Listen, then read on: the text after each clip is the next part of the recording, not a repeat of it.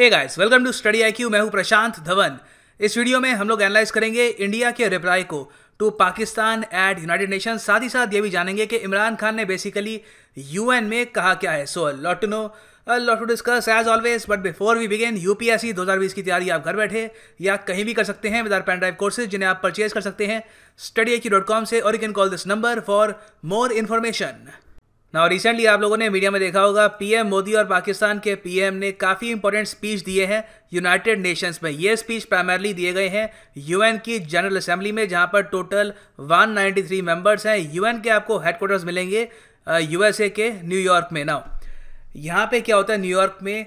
हर साल के सितंबर महीने में, सितंबर से लेकर दिसंबर महीने में जनरल असेंबली का एक रेगुलर सेशन होता है और इस सेशन की शुरुआत में दुनिया भर के वर्ल्ड लीडर्स यहाँ पे आते हैं, चाहे टर्की के हो चाइना के हो हर तरफ़ से लोग आते हैं या फिर अपने रिप्रेजेंटेटिव भेजते हैं, जो एक स्पीच देते हैं यहाँ पे सबके सामने, जो दुनिया के सामने प्रेजेंट किया जाता है। तो अभी आप देखें तो डोनाल्ड ट्रंप ने यहाँ पे स्पीच दिया है पीएम मोदी ने, उसके अलावा टर्की के प्रेसिडेंट एर्दोगान पाकिस्तान के पीएम नाउ हम लोग यहाँ पर बस फोकस करेंगे कि पीएम मोदी ने ये स्पीच में क्या कहा है इमरान खान ने क्या कहा, और फिर इंडिया ने इमरान खान के स्पीच के रिस्पॉन्स में क्या जवाब दिया। ना मैं आपको ये बता दूँ कि यूएन में स्पीच देने के लिए हर वर्ल्ड लीडर को 15 मिनट का टाइम पीरियड दिया जाता है। अगर लीडर यहाँ पर जिद करे कि मुझे कुछ और बोलना है यहाँ पर तो ये टाइम लिमिट एक्सटेंड भी की जा सकती है। अब तक का सबसे लंबा स्पीच यूएन में दिया था फिडेल कैस्ट्रो ने। पीएम मोदी का स्पीच बाय रूल्स उस रूल्स के हिसाब से था अबाउट 15 मिनट्स का, और 15 मिनट्स में इन्होंने बहुत सी इंपॉर्टेंट चीज़ों पर हाईलाइट किया। हेल्थ से लेकर टेररिज्म उसके अलावा क्लाइमेट चेंज आप अगर पीएम मोदी का पूरा स्पीच देखें तो उसमें से सबसे ज़्यादा बार इन्होंने वर्ड इस्तेमाल किया है इंडिया 25 बार, और फिर पूरी दुनिया की बात करी है टेक्नोलॉजी की बात करी है सिंगल यूज़ प्लास्टिक को कम करने की बात करी है इकोलॉजिकल कंसर्न के बारे में बात करी है डेवलपमेंट को काफ़ी बार डिस्कस किया है यहाँ पे globalisation Swachh Bharat peace health Mahatma Gandhi, इन सब इश्यूज़ को प्राइमरली पीएम मोदी ने अपने 15 मिनट्स में कवर किया है। आप अगर पाकिस्तानी पीएम का स्पीच यहाँ पर देखें तो पहली बात तो उन्होंने अपनी जो 15 मिनट्स की लिमिट थी, इसको काफ़ी बार एक्सीड किया और टोटल 50 मिनट का स्पीच दिया। नाउ अजीब बात यह थी कि इस 50 मिनट के स्पीच में पाकिस्तान के प्राइम मिनिस्टर ने पाकिस्तान की डेवलपमेंट पाकिस्तान की इकोनॉमिक ग्रोथ वो किस तरीके से डेट से बाहर निकलेगा, इस पर कोई भी बात नहीं करी। वहाँ पे इन्फ्लेशन करेंसी क्राइसिस उस पर ना के बराबर ध्यान दिया। प्राइमरली उनका फोकस था पूरा जो स्पीच है 15 मिनट्स का। प्राइमरली उनका फोकस था कश्मीर इंडिया पर। उसके अलावा इस्लामाफोबिया का जो इशू है अकॉर्डिंग टू इमरान खान और किस तरीके से वर्ल्ड में इस्लाम की इमेज को इम्प्रूव करना चाहिए हिजाब के बारे में इन्होंने काफ़ी बात बोली। तो टोटल 50 मिनट का जो इनका स्पीच था उसमें अपने कंट्री के वेलफेयर के बारे में ना के बराबर बात करी गई। If this goes wrong, you hope for the best but be prepared for the worst. If a conventional war starts between the two countries, Mr. President, if a conventional war starts and it could, anything could happen, but supposing a country seven times smaller than its neighbor is faced with the choice either you surrender or you fight for your freedom till death. What will we do? I ask myself this question. And my belief is, La ilaha illallah, there is no God but one. And we will fight. And when, and when, and when a nuclear armed country fights to the end, it will have consequences far beyond the borders.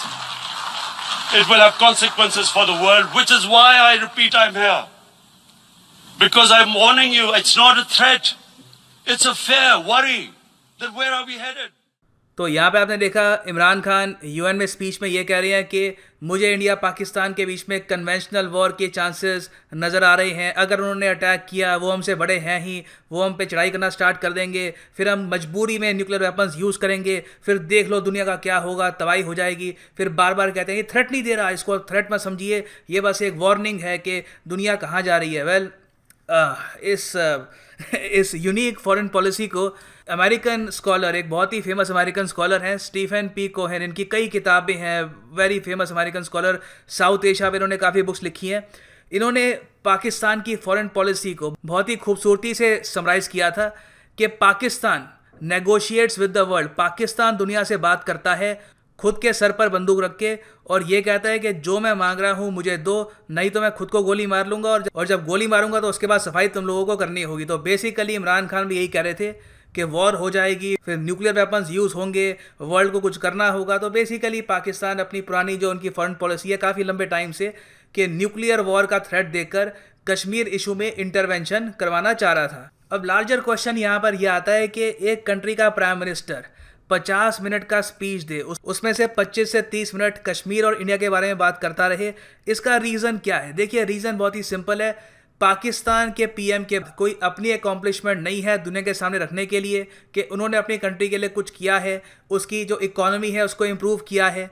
Pakistan आज के time में International Monetary Fund के bail out के under काम कर रहा है। IMF literally Pakistan को बता रहा है कि किस तरीके से उनकी इकोनॉमी चलेगी। उनकी कंट्री का जो सेंट्रल बैंक है, वहाँ पे कौन ऑफिसर्स बैठेंगे? उनको कौन सी सरकारी कंपनी को बेचना है? ये सारी चीज़ें लिटरली आईएमएफ उनको डिक्टेट कर रहा है क्योंकि पाकिस्तान के पास आज के टाइम में काफ़ी क्राइसिस है और ये मैं नहीं कह रहा।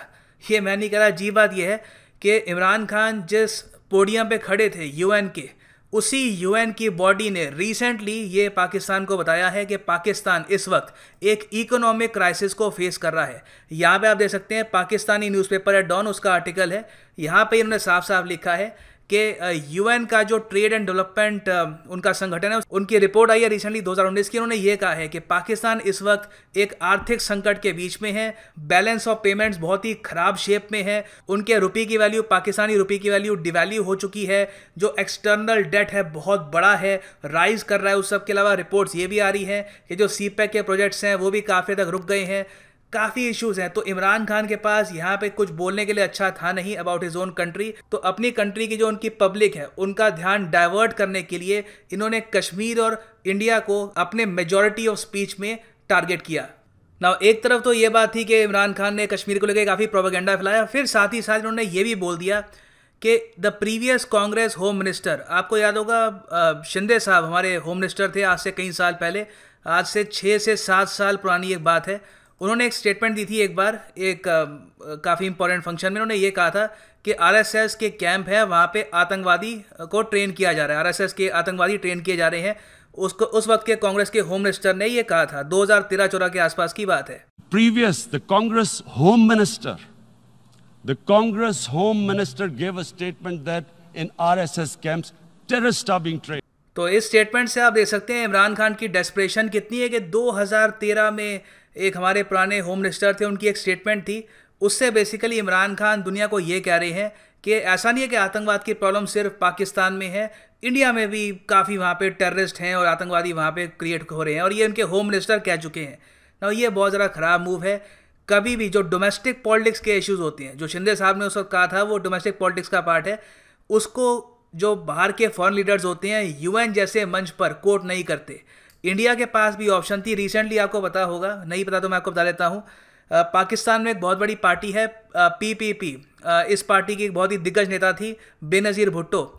इनके बेटे ने रिसेंटली ये कहा है कि जिस तरीके से पाकिस्तान की गवर्नमेंट प्राइमरली जो इनका पंजाब प्रोविंस है, वो ट्रीट कर रहा है बाकी प्रोविंसेस को तो धीरे धीरे आपको इवेंचुअली हो सकता है कि सिंधु देश देखने को मिले, जो ये सिंध प्रोविंस है, पाकिस्तान का, ये इंडिपेंडेंस डिक्लेयर कर दे या फिर इंडिपेंडेंस स्ट्रगल शुरू कर दे प्रॉब्लम हो सकती है। तो इंडिया इनको भी कोट करके कह सकता था कि देखिए आपके यहाँ तो जो पॉलिटिकल पार्टीज़ के लीडर हैं, वो ऐसी बात कर रहे हैं। और ये सब तब हो रहा है जब पाकिस्तान में ऑलरेडी मेजर पॉलिटिकल पार्टी के लीडर जेल में है, जरदारी जेल में है, उसके अलावा नवाज़ शरीफ जेल में है, उनकी बेटी जेल में है। कई न्यूज़ चैनल्स बंद किए जा चुके हैं जो इमरान खान को ये कहते हैं कि वो आर्मी के पपेट हैं या फिर आर्मी के सिलेक्टेड प्राइम मिनिस्टर हैं। तो इंडिया ने ये सब नहीं किया और रिस्पॉन्सिबल कंट्रीज़ ऐसे जो डोमेस्टिक पॉलिटिक्स होती है, उसमें जो स्टेटमेंट्स दी जाती है, उनको इंटरनेशनल लेवल पर यूज़ नहीं करती। तो इससे आप समझ सकते हैं कि इमरान खान कितने ज़्यादा यहाँ पर आप कह सकते हैं बैफल्ड थे डेस्परेट थे कि उनको कुछ मिल जाए, कोई स्टेटमेंट मिल जाए और उससे अपना जो प्रोपागेंडा है, वो आगे बढ़ा पाएँ। और इसी बोखलाहट में उनके मुझसे ये भी निकल गया कि नरेंद्र मोदी इंडिया के प्रेसिडेंट है इवन तो दुनिया जानती है he is prime minister Modi. तो ये सब तो इमरान खान ने अपना स्पीच दिया, बहुत ज़्यादा नेगेटिव स्पीच बहुत एंटी इंडिया स्पीच अब प्रॉब्लम क्या थी कि जब एक कंट्री का पीएम इतना कड़वा स्पीच दे यूएन में, इतना आप कह सकते हैं डेवलपमेंट के ऑपोजिट जाने वाला स्पीच दे तो उसका रिस्पॉन्स करना ही पड़ता है। और इंडिया ने यहाँ पे मैं कहूँगा बहुत ही क्लेवरली एक यंग डिप्लोमेट से कहा कि आप इमरान खान को आंसर दीजिए। इमरान खान को जवाब देने के लिए हमारे पीएम नहीं आए, हमारे फॉरेन अफेयर्स मिनिस्टर नहीं आए फॉरेन अफेयर्स सेक्रेटरी तक नहीं आए। हमारी एक यंग डिप्लोमेट है यूएन में, इनका नाम है विदिशा मित्रा। ये इंडियन फॉरेन सर्विसेज़ के बैच से हैं 2009 के बैच से हैं। इन्होंने यहाँ पर बहुत ही अच्छे तरीके से पाकिस्तान को रिप्लाई दिया। पहले तो ये कहा कि जिस तरीके से आप न्यूक्लियर की बात कर रहे हैं न्यूक्लियर वॉर की बात कर रहे हैं, ये स्टेटमेंटशिप नहीं होती, कोई रिस्पॉन्सिबल कंट्री का प्राइम मिनिस्टर इतने बड़े मंच पर इस तरीके की इमेचोरिश बातें नहीं करता। आगे ये कहा कि पाकिस्तान ऑलरेडी एक एपिसेंटर है टेररिज्म का, वहाँ पे एक नॉन हिस्ट्री है आतंकवाद की। और फिर कुछ क्वेश्चंस यहाँ पे प्रेजेंट किए कि क्या पाकिस्तान ये बात कंफर्म कर सकता है कि 130 यूनाइटेड नेशंस डेजिग्नेटेड आतंकवादी आज के टाइम में पाकिस्तान में है, जो एक्चुअली सच बात है इट इज़ अ फैक्ट ये आप यूएन की वेबसाइट में चेक कर सकते हैं। 130 यूएन डेजिग्नेटेड आतंकवादी पाकिस्तान में इस वक्त ऑपरेट कर रहे हैं और 25 ऐसी टेररिस्ट एंटिटी जिनको यूएन ने लिस्ट कर रखा है, वो पाकिस्तान में ऑपरेट करती है। उनमें से कई फ़ेमस एग्ज़ाम्पल है, जो आप न्यूज़ में भी सुनते हैं। हाफिज सईद और वेरियस और आतंकवादी हैं वहाँ पे। उसके अलावा इंडिया की डिप्लोमेट ने यह भी यहाँ पर कहा Will Pakistan acknowledge that it is the only government in the world that provides pension to individual listed by UN in the Al Qaeda and Daesh sanction list recently आपको पता होगा कि हाफिज सईद के कुछ पैसे थे अमेरिकन बैंक में। कुछ ज़्यादा पैसे नहीं थे, कुछ पैसे थे। उस पैसे को विड्रॉ करने की अनुमति प्राप्त करने के लिए पाकिस्तान की गवर्नमेंट ने यूएसए को काफ़ी रिक्वेस्ट करी और कई आतंकवादी है पाकिस्तान में जो अलकायदा के अंडर आते हैं, जो दाइश के अंडर आते हैं, उनको पाकिस्तान की गवर्नमेंट पेंशन प्रोवाइड करती है। इतना ही नहीं है रिसेंटली पाकिस्तान का एक बैंक है हबीब बैंक इसको यूएसए में बैन किया गया था क्योंकि इस पर टेररिस्ट को फाइनेंसिंग के आरोप लगे थे। उसके अलावा एफएटीएफ की जाँच पड़ताल में पाकिस्तान है ही।